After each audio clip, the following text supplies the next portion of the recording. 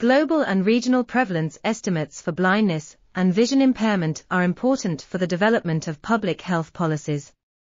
Globally, of the 7.33 billion people alive in 2015, an estimated 36.0 million, 80% uncertainty interval UI 12.9 to 65.4 were blind, crude prevalence 0.48%, 80% UI 0.17 to 0.87, 56% female. An estimated 216.6 million people had moderate to severe visual impairment in 2015.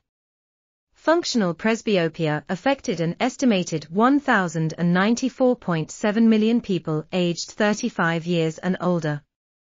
This article was authored by Professor Rupert A. Bourne, MD, Seth A. Flaxman, BA, Tasanee Braithwaite, Miles Per Hour, and others.